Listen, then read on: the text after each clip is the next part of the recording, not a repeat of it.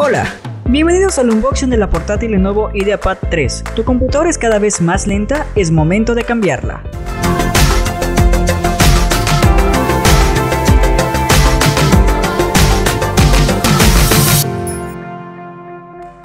Lenovo se luce cada vez más y su aceptación en el mercado incrementa con cada actualización de sus portátiles. Este modelo 2020 viene con un procesador Ryzen 5 3500U con gráficos integrados. En su lado izquierdo podemos ver tres puertos USB, un puerto HDMI cerca del puerto de carga. En el lado derecho podremos ver la entrada para nuestros audífonos de conexión jack 3.5 y un lector de tarjetas de memoria. Al abrir su pantalla podemos observar que se enciende automáticamente, apreciar sus 14 pulgadas y al mismo tiempo visualizar su cámara, la misma que viene con un sello removible. Sus bordes son delgados, con un efecto romboide que nos permite sentir un acabado elegante, ligero y muy propio de la marca. Su color azul metálico le da un estilo muy particular y su tamaño te permitirá ahorrar bastante espacio en tu hogar.